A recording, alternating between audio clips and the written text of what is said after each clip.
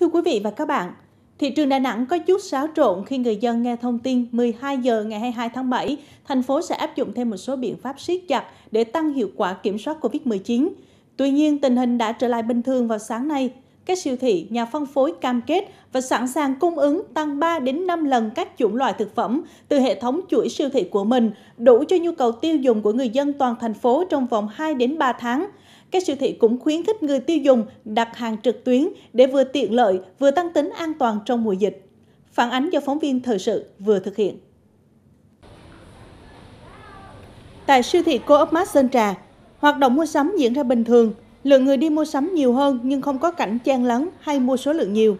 Đại diện siêu thị này cho biết nguồn cung hàng hóa dự trữ tại siêu thị này có thể đáp ứng nhu cầu mua sắm của người dân trong thời gian một tháng – Ngoài ra, hoạt động mua hàng qua điện thoại, Zalo và đặt hàng trực tuyến đã được siêu thị này kích hoạt hơn một tháng nay, nên người dân có thể sử dụng dịch vụ đi chợ hộ để hạn chế đi mua sắm trực tiếp. Và từ, từ chiều tối hôm qua đến sáng nay thì cái lượng khách hàng đến siêu thị đông hơn.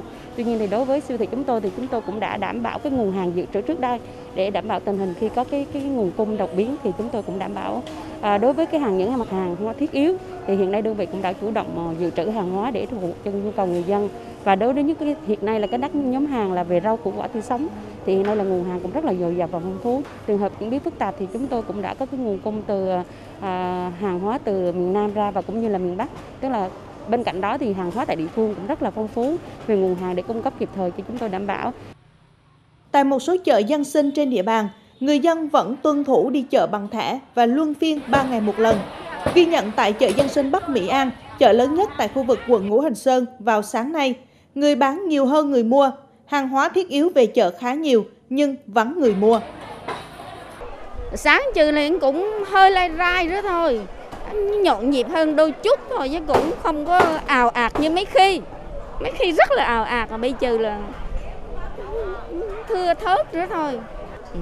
nguồn cung là không sợ thiếu họ này mình chủ lò rồi họ tới họ này mình lấy mà mình không có mua được mình đâu có bán được mà mua với người tiêu dùng Đà Nẵng, họ đã trải qua nhiều lần đối diện với diễn biến phức tạp của dịch bệnh nên cũng có nhiều kinh nghiệm.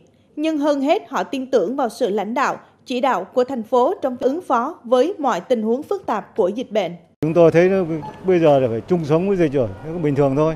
Ừ, bây giờ mình phải chung sống thôi chứ không không có gì mà phải băn khoăn hoặc là phải lo lắng gì cả. Vì cũng tin tưởng vào cái thành phố họ sẽ lo lắng đầy đủ nhu yếu phẩm cho cho dân. Giờ là không những riêng thành phố Đà Nẵng mà cả nước ta cùng chung tay để chống dịch và uh, tránh những cái trường hợp lây lan chéo nhau. Và những cái những cái dịch bệnh này nó đang càng ngày nó càng khó là nó biến tiến triển ờ, khó phát hiện và khó dập dịch. Cho nên tôi tôi thấy cái công văn ra là tôi rất là đồng thuận và tôi rất là vui mừng là để đảm bảo sức khỏe cho mình, của gia đình và cộng đồng của mình nói chung.